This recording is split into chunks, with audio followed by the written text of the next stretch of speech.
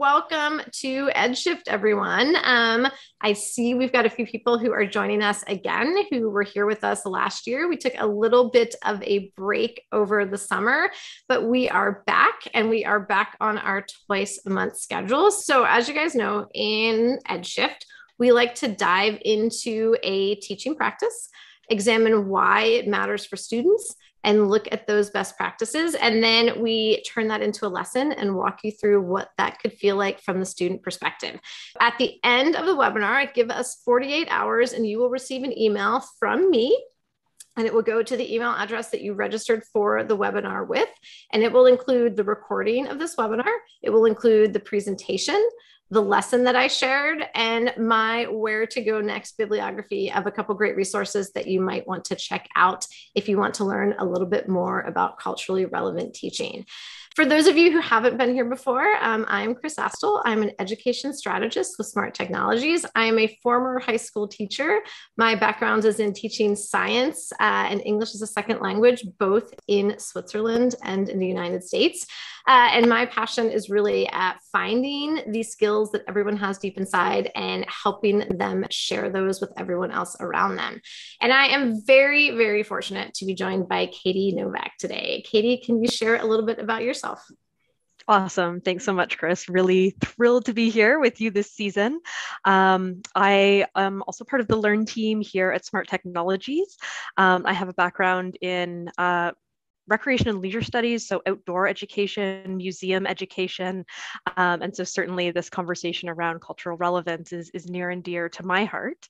And um, also really just passionate about education overall, you know, similar to Kris, we um, we are here at Smart um, because we believe in the power of education and uh, the power of, of our students and our next generations to uh, to change uh, and and in some cases save the world. So uh, glad to be here, Kris. Thanks. I love it. And so excited that you're going to be joining me this season on EdShift. So, today we are talking about how to develop a culturally relevant and responsive classroom. This is a topic that I think I could probably lead a year's worth of webinars on. Um, and Katie's going to try to keep me on track today because there's so many things that I am passionate about when it comes to this topic and so many things that I'm interested in. And when I was kind of thinking about where I wanted to go and what I wanted to share in this webinar, I was doing plenty of reading. And I couldn't nail down the do we talk just about being relevant or do we talk just about being responsive? So we're really going to dive into both. And I'm hopefully going to talk a little bit about what both terms mean and how they are similar and how they maybe diverge slightly. Um, there's a lot going on in our worlds as we go back to school and there's a lot that as we you know navigated through pandemic teaching and emergency teaching and all of the things that happened, you know, in all of our respective countries last year, I think we we saw things in a different light. We understood things differently, and I know I'm headed back into the school year, really thinking about what can I do to change? What are the small steps I can make? What are the big changes I can make to make sure that every student who comes into a classroom is seeing themselves in that space, is connecting to the learning, and is finding ways to grow and excel. And so you're going to see that theme kind of play out throughout all of our webinars this year. Um, but today we're really going to focus in on how to be culturally relevant and responsive in the classroom. The flow today, as always, I'm going to give you an overview of what is culturally responsive um, and relevant teaching. And then we're going to dive into the best practices. And then at the end, I am going to give you guys a lesson example. Now, I do want to get a little bit of involvement today. So um, let me get you guys signed into my class before we go too much further. So um, if you can go to hellosmart.com, just open up another tab, another device, whatever you're comfortable with. You're going to join as a guest and you're going to enter my class ID, which is 979887. There is not a space. Uh, so just six numbers all in a row. Um, and Katie, I can tell, is typing and putting that in the chat. Talking about the new year, um, what I want to just get a temperature check on before we dive into this is when you think about your students, some of you may already be back in school, some of you may still be ramping up to go back to school. But for this coming school year, what are the greatest needs of your students as we head back to school? So take a minute and share that. And Katie, you can maybe share with us what you're seeing on some of this. I know you've done a ton of work with uh, some of our students through our partnership with Digital Promise. So mm-hmm. share a little yeah, definitely. In, in talking directly to our students and also in, in some of the, the research and, and work that we've done with teachers over the last few months, I mean, relationships. Relationships are coming up over and over again. Students need to reconnect with each other. They need to reconnect with their teachers. Um, and I'm, I'm definitely seeing that here too, right? That idea of connecting with friends, that that social emotional support. You know students have been through a lot in the last year and a half um, you know and, and they have had varying levels of support in their homes varying uh, you know things to, to deal with certainly. Um, so really that idea that they're all coming with these unique um, unique needs, different needs than they had 18 months ago uh, in the classroom. So yeah, really that idea of, of relationships and, and reconnecting and building that trust again with students. Yeah, I love that. And we're seeing that in our responses here too, like this need for connection, social and emotional support, um, socializing, empathy, understanding, social interaction. You know, everyone really is in a different place. And I think these last 18 months have really, you know, given our students a lot of different things and different experiences and they're coming back and there's going to be gaps. Like i see learning loss on here and we know that there's some unfinished learning but there's also all of these unexpected skills that students acquired while they you know were learning from home or learning in a way that they hadn't before.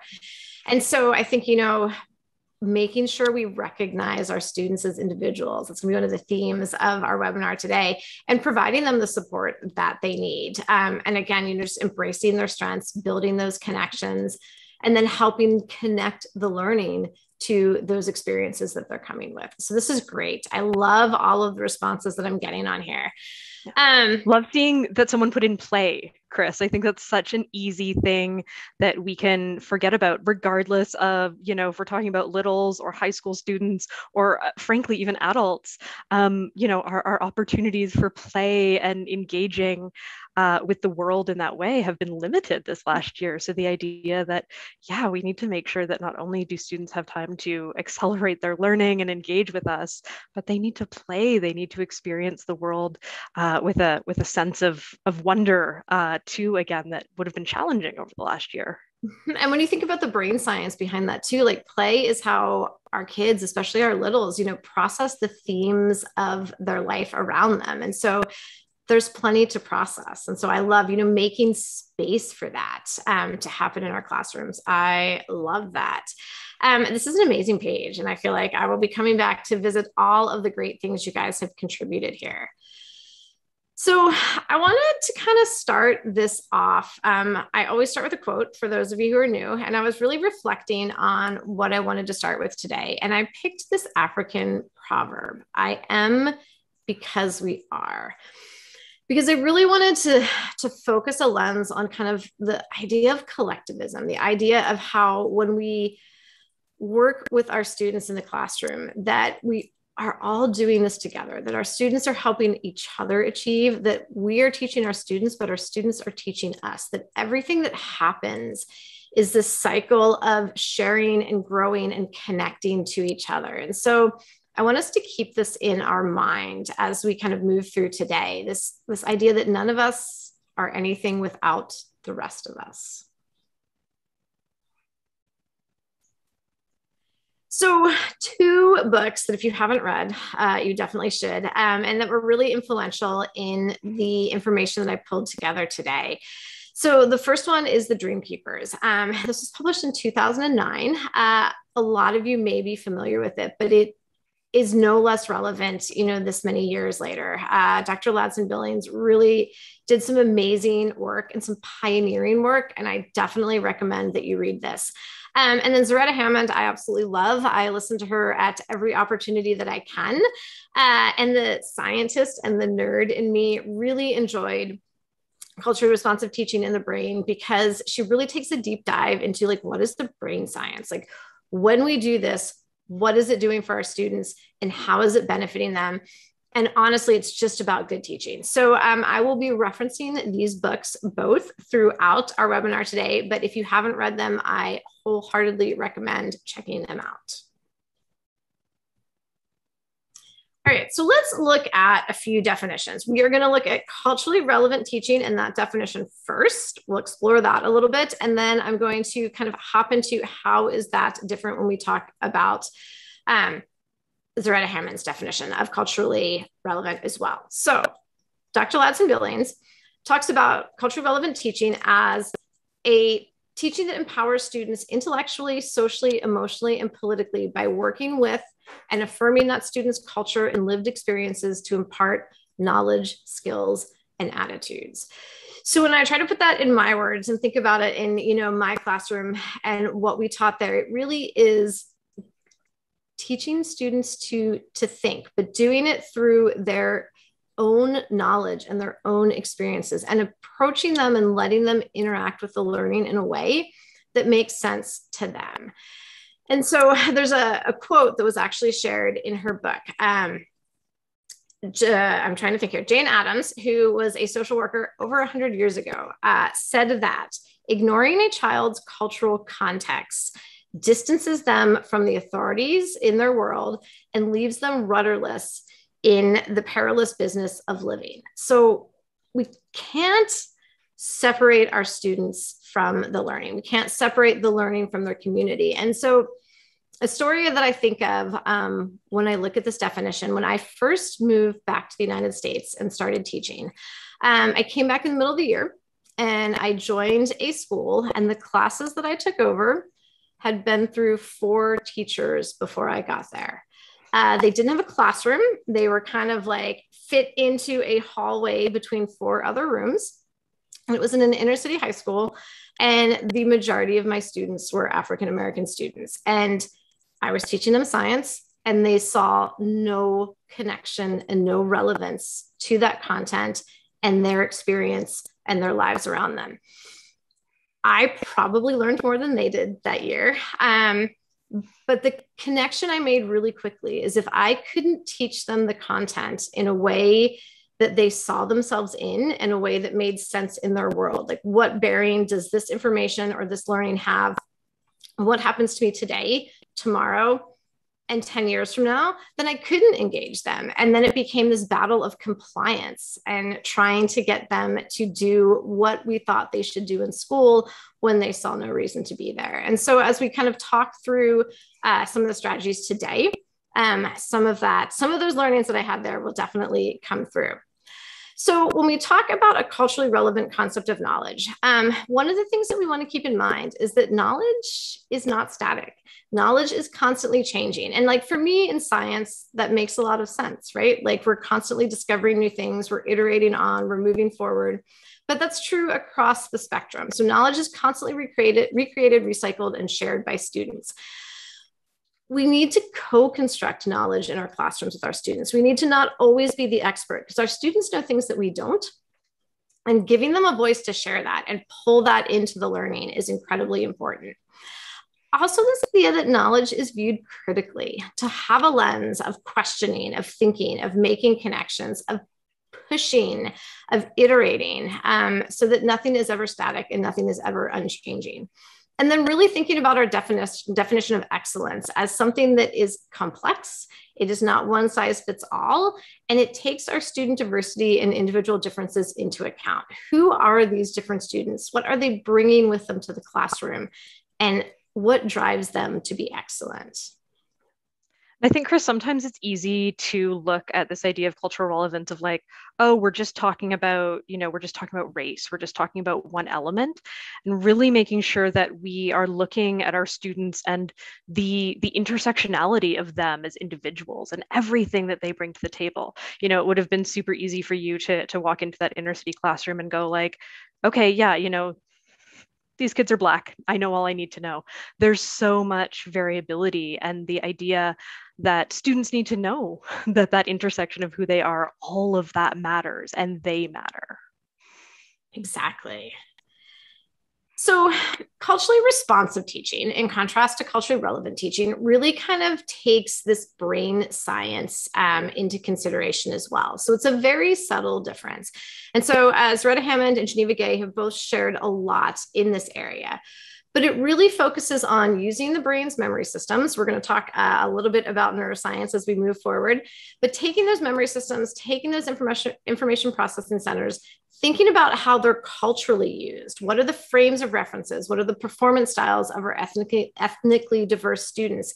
And how do we use those to make learning more relevant and effective? And so here and in a lot of um, Hammond's work, you'll see there really is this focus on oral traditions. A lot of our ethnically diverse cultures have a very strong oral tradition, and finding ways to build that into the classroom, finding ways for students to access information other than just reading. And then thinking about the definition of literacy, right? Like we think literacy mm-hmm. and we immediately kind of make the jump to to reading. But literacy is really how we engage with all of the ways our culture communicates. And so, you know, as we think about how we're literate now, right, there's digital literacy, you know, being literate with computers and technology has evolved. There's lots of ways to share. And there's lots of things our students are better at than we are. Um, and letting them bring that to the classroom, not being afraid of that, not being afraid to not be the experts. So we think about all of the ways that we can help our students process the information by looking at the brain science behind it. But then we also see our students as individuals and as experts who can bring that knowledge to the classroom and share it with us as well.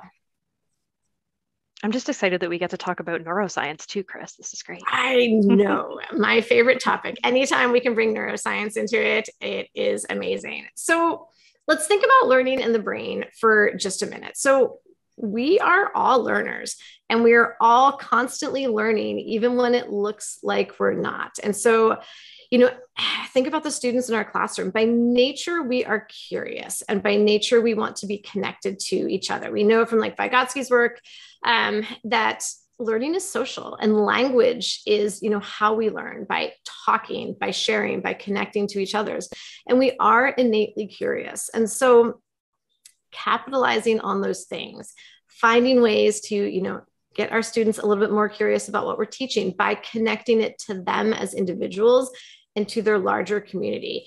Um, and kind of going back to this idea that we started with in the beginning of, you know, collectivism. A lot of our students, it's not just them, they're not individuals. There's this whole group of community and family behind them. And making those connections inspires them, engages them, and gets them present in what we are doing in our classrooms.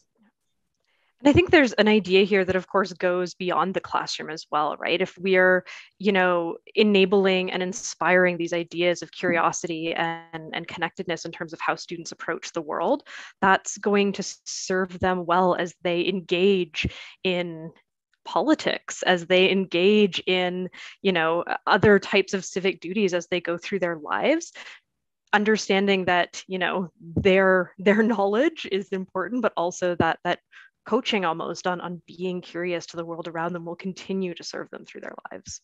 That whole notion of like what if what if this happened or what if that happened? What you know how do we explore and iterate? And that curiosity is really tied to like experimentation through and then failing to get to the next step. And so it's this whole mindset of like let's push the button. What happens right? Um when i think too like of all of the very successful deep thinkers who have done you know really amazing things.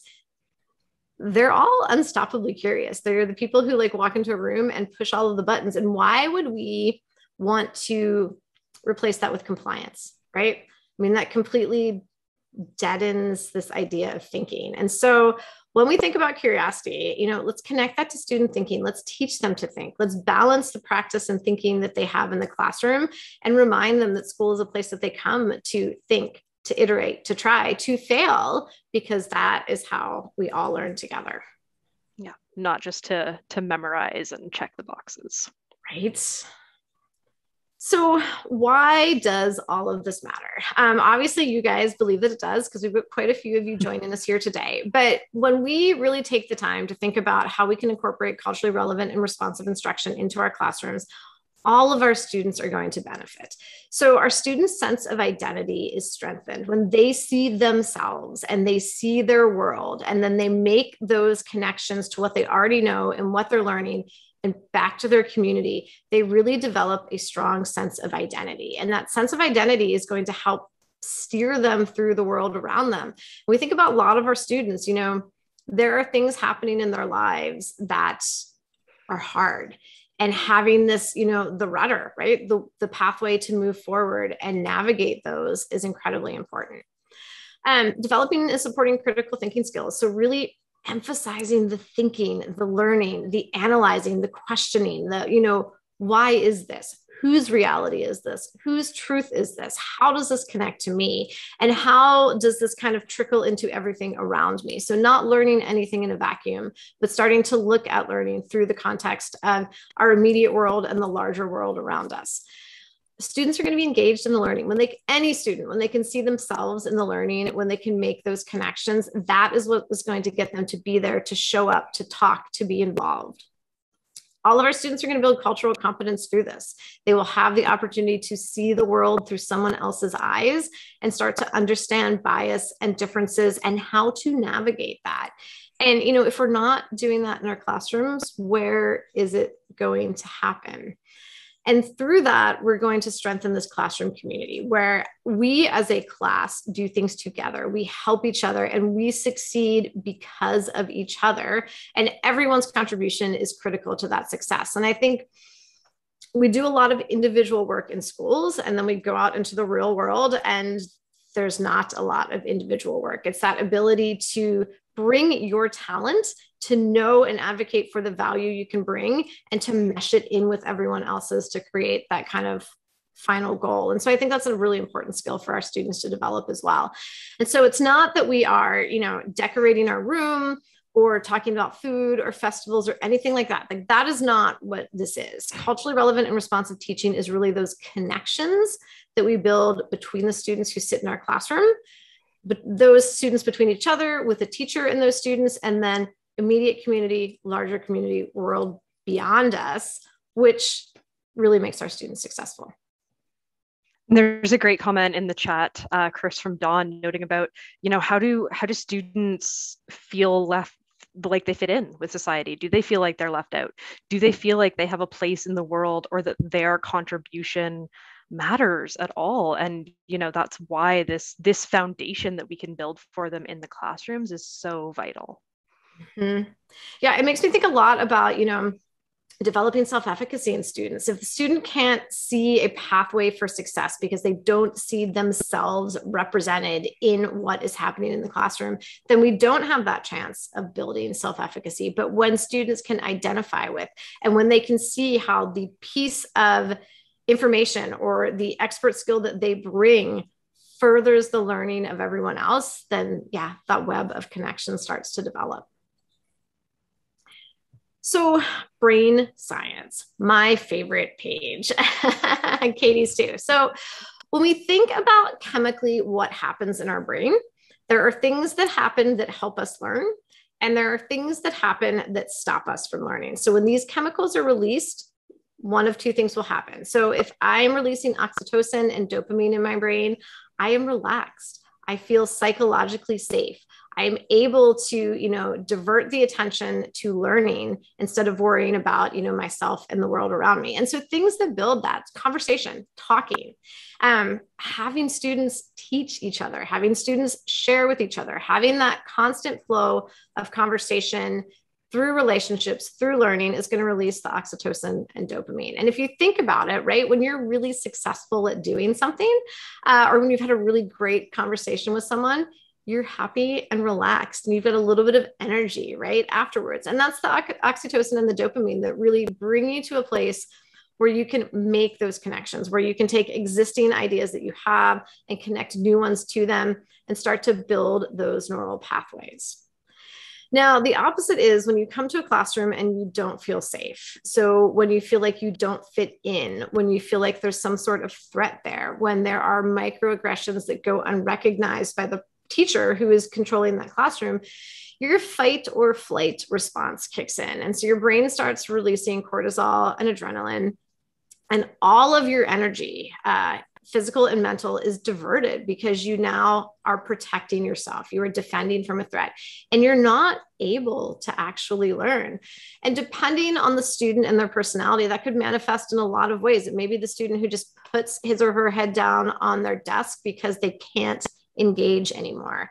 Um, it could be the student who refuses to do the work. It could be the student who walks out of the room. It can be the student who becomes, you know, verbally or physically confrontational because they've been pushed this far. Um, and I was listening to a podcast, which I will include um, in the email afterwards, uh, with Zaretta Hammond, um, and she was talking about how you know students process so many of these microaggressions that aren't recognized until they get to a breaking point. And now we're disciplining the student who we haven't allowed to access the learning because of just where they were in that brain space. And so when we create a classroom where we build a community where every student has a voice and is valued, we shift this balance to these positive chemicals in our brain, which really allow us to learn together as a team. And so it may seem like a small thing, but if you think about times when you've been in either one of these situations, I know, you know, when I'm upset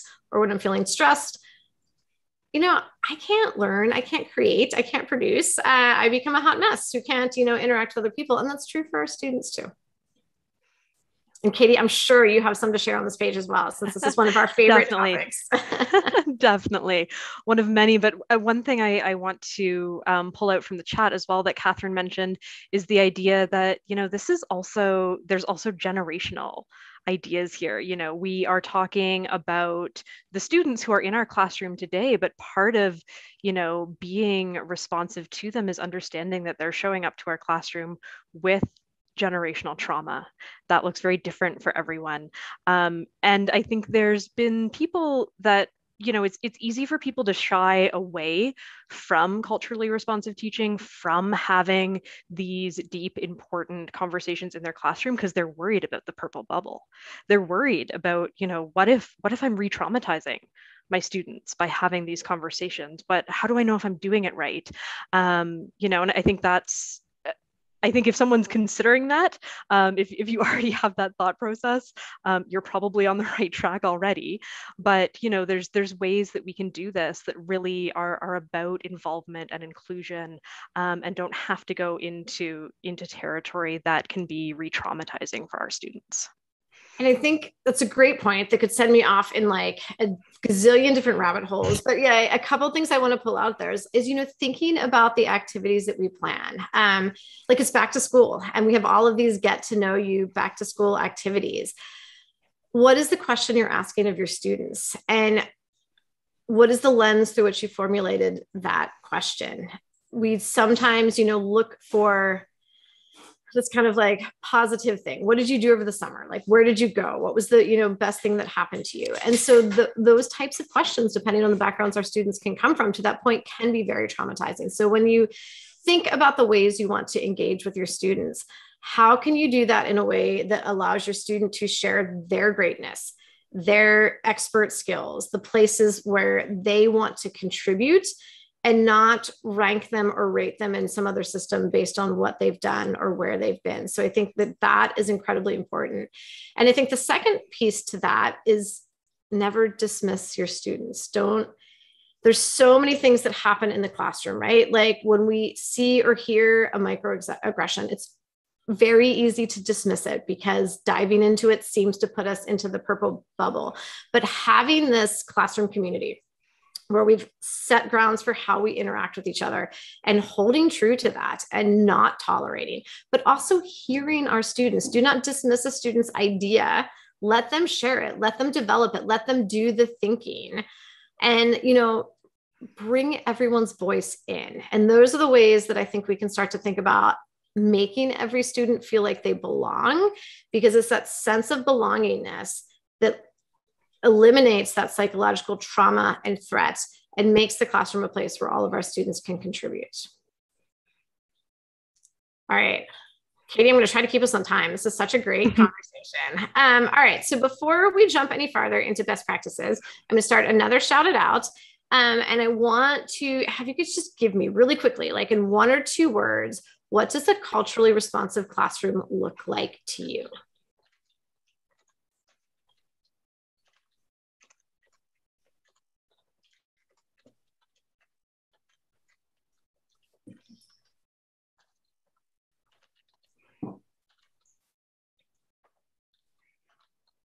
I, I love the responses written. So interactive, open to student ideas, everyone being heard and feeling ready to learn, empathetic, diverse. Classroom material reflects the community, a place where creative confidence is developed, inclusive and engaging. I love all of this. Like student voice and choice is one of my favorite topics. And I'm always looking for ways to let students kind of, you know, share their individual greatness in the learning that they're doing. Awesome. Some really good stuff here. And like I see individualism and I love this. Like, how do we, how are we all individuals? How are we unique and respected and cared for? And how do we fit into the whole as well? And there's a quote I want to share from Dreamkeepers before we leave this page. And this is um, one of the teachers who was involved in the Dreamkeeper study. And she's talking about one of her students. And what she says is, he's strong and beautiful, but fragile. I have to build a safe and secure place for him and let him know that we, the class and I, will be there for him. The school has been placing him in the kitchen junk drawer. I want him to be up there in the china cabinet where everyone can see him. And the student that she's talking about in this quote um, had been held back for two years. He was older, he was often disruptive, and he had also wished, witnessed the drive by shooting of his aunt. So here's a kid who has a lot of trauma and who had a lot of behaviors that were not necessarily conducive to the classroom. But what this teacher is talking about is, you know, finding his greatness, finding the things that he can do, um, and letting the rest of the class look up and learn from him. And so it's kind of flipping the narrative, right? When students come into our classroom, understanding the whole student and what's behind them and what drives them and what's in there, and looking at them from a different lens to let them share their greatness and their levels of expertness and to be able to give something back to that classroom community because every student in our rooms has something to give back to that community. So I love all the things that we're seeing here. Um, I am going to jump us ahead to best practices because I don't want to run out of time to walk you guys through at least some of our lesson today. Um, so we're talking about best practices. Uh, Zaretta Hammond really talks about this being chaotic. It is a renovating, and there is no renovation that has ever happened in the history of time that did not make a giant mess and cause a lot of chaos and result in something beautiful and amazing. And so when you're thinking about the shifts you can make in your classroom the things that you can do and when you're kind of you know examining the lens at which you look at your students it's not going to happen overnight we're not immediately going to get there it's a process and i think we need to to allow for that um, and you know we have to give ourselves grace as well as giving our students grace and identify also like where we're growing what our strengths are and what we bring to the table Kris, I'll add another quote to that that has been in my mind a lot lately since someone shared it with me a few weeks ago. And that is evolution requires confusion. Um, you know, it requires a little confusion, it requires a little mess, but it means that we're moving in the right direction. Exactly. Exactly. I love that. Um, well, and you know, the Maya Angelou quote that I think about often, um, and I feel like I share with my own daughter uh, very frequently. So we we do our best until we know better and then we continually strive and grow. And so I think that's important to keep in mind as well. So in the best practices segment of today, I've built, I've brought, blah, I can't talk. I've broken it down into two segments. Like number one, what are the best practices for building classroom community? And then what are the best practices for structuring some of our learning activities with our students?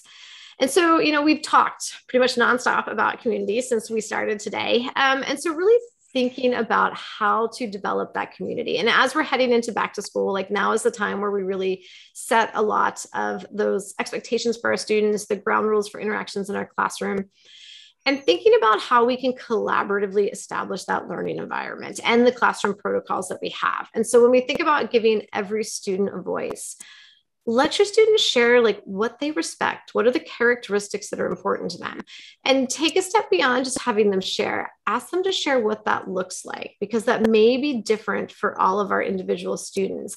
And letting, hearing from them what they respect and what they look up to and what they'd like to see mirrored in their classroom is really important.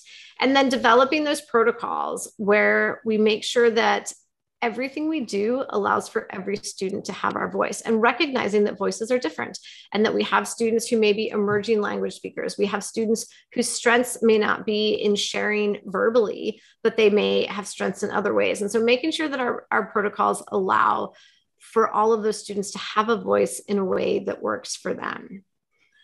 And then, you know, helping students see their potential by setting high expectations. And so, for a lot of these students who are coming to our classroom, society maybe doesn't have high expectations for them, but we can talk about that.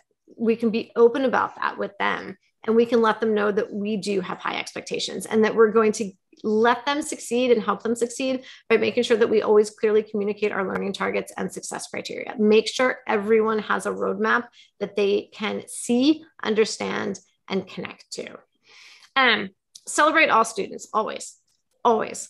Um, every student has something to bring to the classroom uh, and making them all feel how important those contributions are our students, especially this year, they are coming to us from all over the place. And so meet them where they are and develop systems for intervention. So catch those gaps and find ways to help accelerate students past them. And in a classroom where we really facilitate student to student interactions and where we facilitate student teaching and where you know students teach others and teach the entire class, those are our systems. And we have a community where instead of valuing individual contributions, it is most important that the community succeeds. It is most important that everyone learns. When we set that community and that expectation, then we have a room full of brains who are thinking, who can help each other. Um, and so it doesn't have to be a daunting task that you know we as teachers are single-handedly taking on for every individual in our classroom this is a community we can all help each other every student has something to give and they can all work together and then involving parents, you know, letting parents understand what is happening in your classroom, what they can expect, understanding, you know, what have what have parents taught their teacher or taught their students? How have they taught their students? And connecting that to your students themselves. Ask them, what are your skills? What are your interests? What do you have to offer? And make sure that that is really amplified in the classroom. And that creates this community where everyone is excited to be there everyone helps each other achieve. And we have the space that has lots of oxytocin and dopamine, and learning can take place. So when we think about connecting students to learning themselves, so um, Inspired Chunk Chew Review, I absolutely love this. This is from uh, Zaretta Hammond's book, and it gives us kind of a simple model to follow when we think about how we present information to our students. So the Inspire piece, right? Like how can we storytell? How can we connect the learning to what's happening in the world around our students? How can we get them interested? So that they're ready to learn. And then making sure that you know we're delivering it in small pieces and we're giving them the opportunity to take those pieces and not just practice but also think. So that's the chew like really start to ask questions to poke around with that learning to connect it to things they know and things they want to know and then the review piece, giving them time for practice. It takes a lot of work to get things permanently stored in our brain. And so making sure that our students have the opportunity to practice things, to revisit things, to reconnect things they've learned previously to the things they're learning now is going to help them feel successful. And that is really, you know, firmly rooted in the brain science piece. And so, you know, when we think about oral traditions, you know, as we're engaging students, using storytelling, letting students storytell, letting them put it in their own words, letting them create, you know, written representations, be it poetry, be it a song, be it a story um, that connects to the learning. Making sure that we activate and share prior knowledge and helping students make the connection between each other's prior knowledge. Like all of the things we know, how do they tie together? How do we let students think and analyze that thread and start to make those connections in their brain? And then taking all of that and connecting it to the actual experiences that students have in the world around them. That's going to keep them connected. And then from there, you know, when we work together, make learning contextual. So uh, in a minute, I'm going to jump you guys into a lesson on photosynthesis uh, because I picked the topic because pretty much every student I've ever taught wanted to know why they had to learn this because it couldn't possibly have anything to do with their life. And so, looking at the ways that we can make all learning contextual, so get students to understand why it's relevant and how it's relevant to them. Always building on the skills students already ha- already know. Um, so that they can connect that to the new learning. Doing lots of cooperative learning. So if you've been to any of my webinars ever, you know how much I love Think Pair Share and, and Jigsaw and strategies like that but really emphasizing the cooperative piece of it. This is not just group work to be done, which falls into kind of that basket of compliance, but that I, as an individual, am not successful unless my group is successful. And how do we all bring the things we know together to make something bigger? And then giving students space to solve problems and raise questions, even if they're questions we don't have the answer to. Um, I think that can be terrifying. It was terrifying for me when I first started teaching, when students asked things, particularly about science, that I didn't know. But that's a great opportunity for us to investigate together, to solve that problem and to get it wrong. Like if we don't get things wrong with our students and we don't let them see that, you know, that is how iteration works. All great things failed many times before they were great. And so giving the space for that to happen in your classroom and for every student to come from a different angle and a different approach that is recognized as equally valid.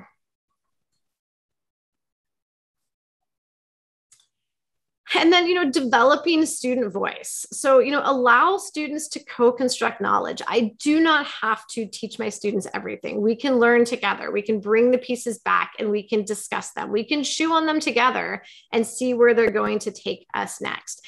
And while we're building this you know environment of you know cooperative learning of you know this group dynamic we also need to teach our students to question group thinking. So there's always that kind of critically analytical drive behind things. Um, and the same with knowledge, like get our students to view knowledge critically, to ask questions, to you know start at point A and get all the way to point Z, to really think things through.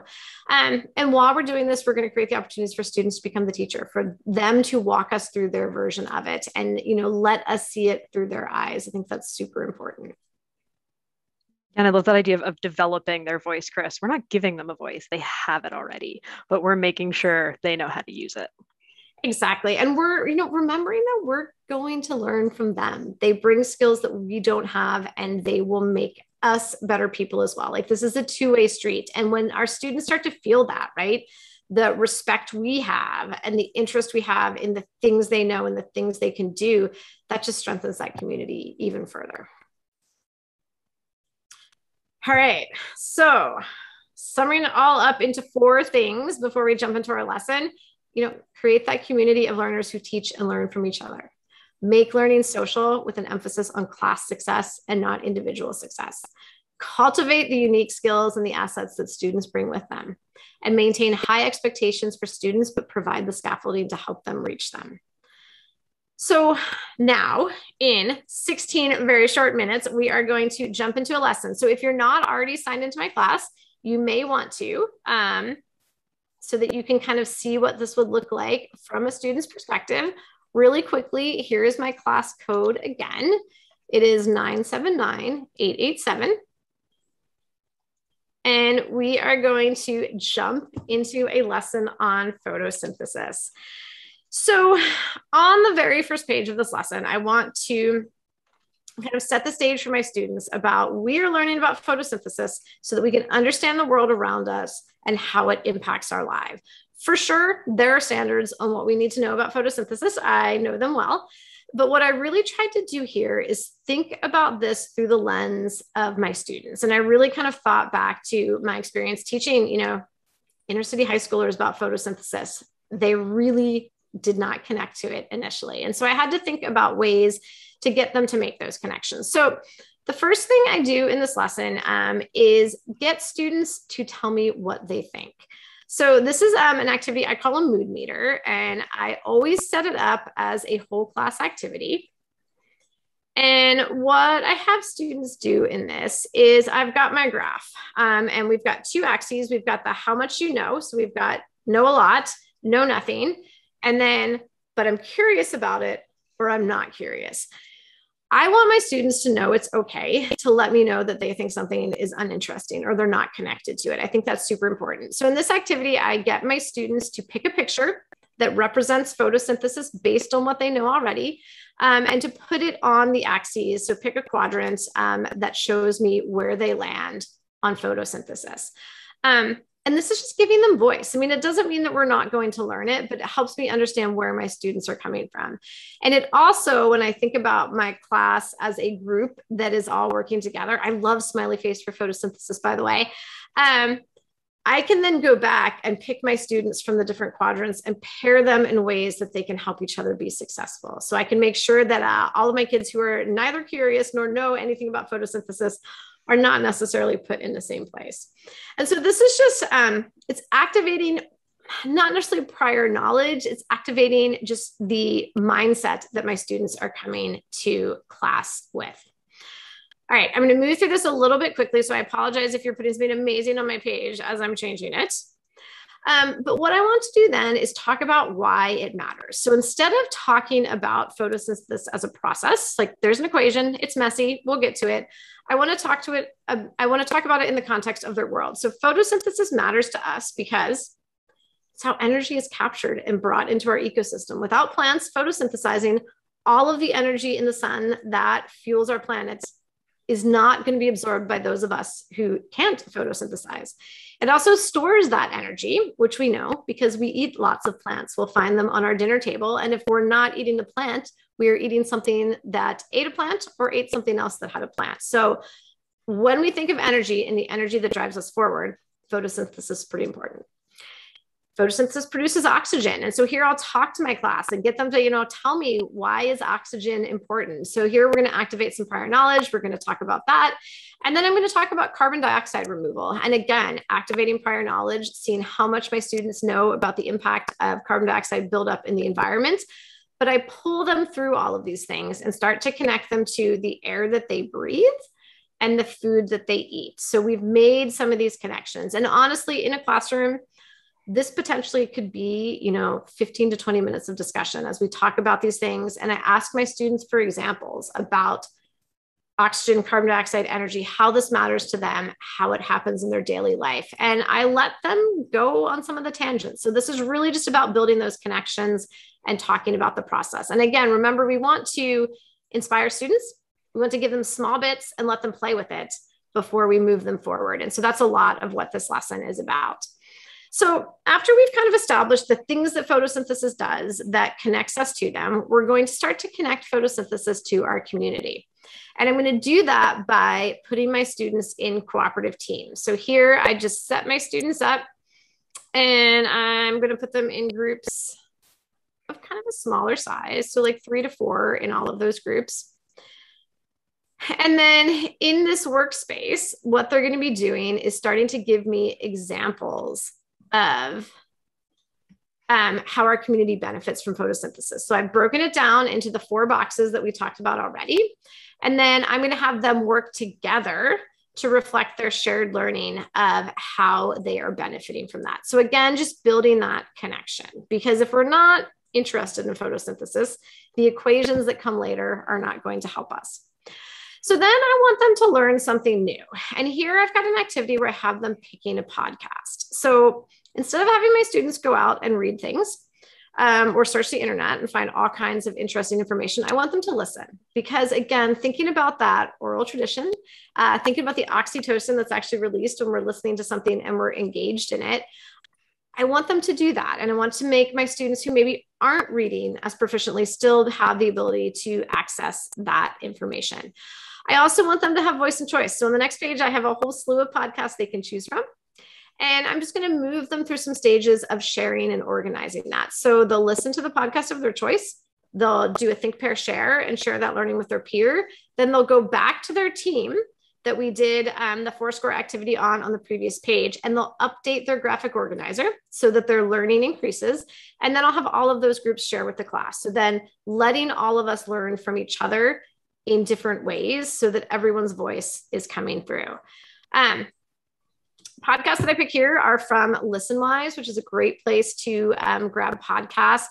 Tumble, Kids Learn. There's tons of places out there with kids approved podcasts. Um, and so you just have to find ones that you have access to or that work for you. But I've just got these in here as links so my students can click on, you know, one that sounds interesting to them. Uh, and it's a whole range of topics. So I thought about my four quadrants and, you know, how that impacts their community. And now I'm just kind of trying to get them to make some of those connections on their own through listening to these stories here. From there, they do a think, pair, share. So I have them work individually in a handout to talk about what they learned and then to actively listen to their partner and record what their partner learned. So just getting them practicing some of those skills there together, you know, solid cooperative learning. And then we start exploring more about photosynthesis, but not until I've made the connection to the world around them. And so that last part, like honestly, that could be two days of teaching where we really then come back and share what we've learned. We start to talk about the connections, we dive into it deeper. We'll spend lots of time doing that before we get to this part where we really start looking at what happens. And so I want to break it down for my students um, into step one and step two. So, photosynthesis, what is it? Water goes in, oxygen comes out in step one, carbon dioxide goes in, and sugar is made in step two. So, really making it simple for them. And then I'm going to give them some science terms. So, again, making sure we talk about the words, we make sure everyone has an understanding, making them as simple as possible. So, I'll do some direct teaching there and then I'm going to let them practice. And so I've got a super sort for them to all do individually where they're identifying products and reactants, both the definitions and the products and reactants from photosynthesis. And then I'll have them just do a quick fill in the blanks. And all of these are self correcting. So my students can practice as many times as they need to. So again, you know, different students process at different speeds, different students need more practice but I'm going to give them the opportunity to do a little bit of practicing just to make sure that I identify any misconceptions they have with the first chunk of information that I've introduced.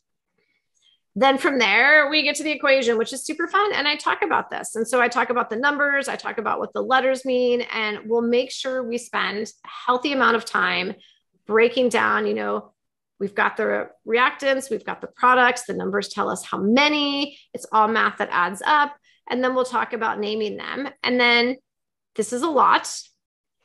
I'll let them practice again. And now here, I am just giving them a handout. You guys can grab one if you want to play with it. And I'm asking them again to, you know, match the word that they read to that molecule itself and to go in and, you know, understand which one is a reactant. So we've got our reactants and we've got our products and they can play with that. And then as a teacher, I can come in and give them feedback as they're doing this. So this can be something that I support them with. I make sure they've got the scaffolding. I support them where needed. We identify those gaps before we move into the next part of the activity. And so then again, we're stepping it up a little bit more. I'm adding some more pieces. The standards want us to know about light reactions in the Calvin cycle. So we break that down again. Um, spend plenty of time talking about this. And then again, we get into practicing. And so here's where I really want them to be able to put the process and the steps into their own words. And I'm going to give them voice and choice in how they do that. Do they want to write a story, a song, or a poem? Are they artistic? Do they want to create a comic for me? Or do they want to do a stop motion animation? Like, what are the things they want to do? Or do they have a different skill? Let me know how they want to share their learning. So just getting them to put it together in a medium that they're comfortable with that shows me that they've put together that sequencing of those steps then once we've done that, I want them to start to reconnect that to their community. So, you know, I used shout it out with you guys earlier in the presentation. It's a great brainstorming activity. And again, the beauty of this is that my students share their ideas and they learn from each other's ideas and they see them all in one place. And so now I'm getting them to start to think critically about what might happen if there aren't many plants in a particular area. So going back to the connections we made to the community, thinking about the equation and the process what are the consequences that could happen there? And once we've talked about what would happen if there aren't many plants, we'll do the same thing and we'll explore the benefits. And so, what are the benefits of having lots of plants in an area? And again, this is an activity that oh, we devote more than the 10 seconds I'm devoting to now, but it really lets students share a wide range of things. And so, I loved, you know, we just got less beauty. Exactly. And like, what are the other pieces that we might see as well? So this really allows them to think critically. We've met the standard, we've addressed the pieces. You know, are all of my students going to be able to recite the equation for photosynthesis? Probably not. But if they know what happens if there aren't plants and if they know the benefits that plants bring, then they're now connected to this. And later on, when you know they are in a situation where they need to have an opinion or address some of the things that are a result of too few or too many plants, they have the ability to do that. And then the last thing I do with them is get them to reflect. So I think reflection is super important. When I think about reflection in the context of building a classroom community, you know, I want to look at, you know, what did I learn? I want to look at the context of that. What can I do with this learning? So, really, you know, if I just taught you the equation of photosynthesis, you probably couldn't do anything with it. But when we start to look at, you know, the impacts and the ramifications of plants and plants in our ecosystems, then you can tell me some things you can do with it. And then the last thing I want you to do is really tell me how you helped your classmates learn because if everyone is not successful, none of us are successful. And so building that in from the very beginning of the school year that it is not all about you, it is all about all of us. Our job is to learn here together. And we're going to create a community where we all make sure that everyone is getting the support that they need. And this, you know, activity here, this is a handout. It's just between me and the student. And so it lets me understand where my students are in this process. And if there are challenges or things I need to address, it gives me an opportunity to do that with the student in a way that does not create that threat situation for them because this is hard for all of us. And so we find the ways to make everyone comfortable and help everyone grow at the same time. So that was a lot in 15 minutes on the lesson, but you guys will get the lesson. You uh, can definitely explore it. Obviously, I focused on science because I thought, you know, science and math are sometimes harder when we think about how do we incorporate culturally relevant teaching. All of the things that we did in this lesson apply to all of the subject areas. Um, and I'd love to hear your ideas about them. So, uh, Katie, I'll turn it over to you for any last words of wisdom.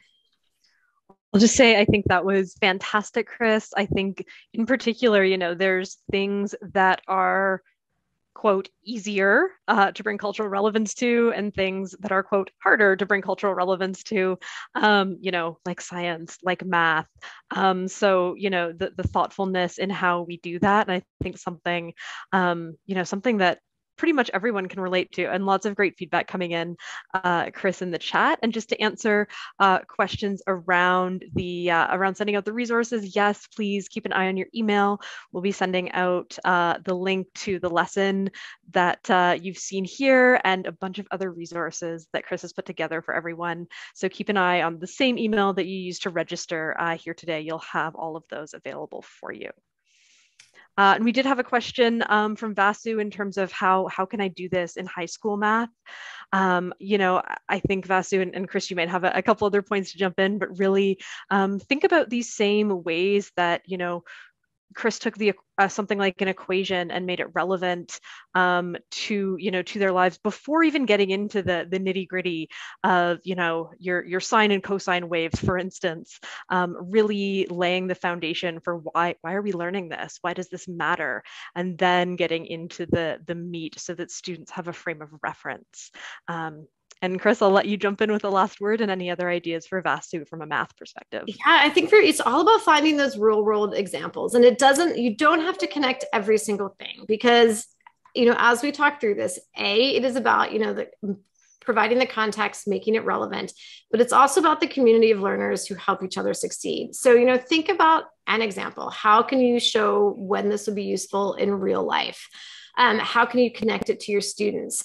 And one of the examples that i saw for math was like you know looking at gas prices and the rate at which they're increasing and then connecting that to the location and the people who live in that location. So how are we connecting you know gas prices to medium median income and things like that? And so you can give those examples and let students work through them. And then at the same time you can also build that community so that when it's hard and students aren't necessarily getting all of it. They've got this classroom of you know at least 30 other students who might be able to explain it in a different way. And they learn to rely on each other as resources and to trust each other as resources. So it's those there's two things we talked about in the best practices. It's building that community that helps each other succeed.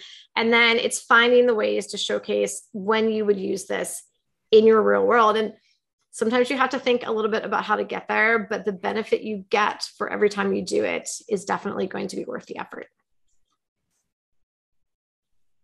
Awesome. Thank you so much, everyone, for joining us today, for engaging in the chat, and uh, we hope to see you next time. Yay.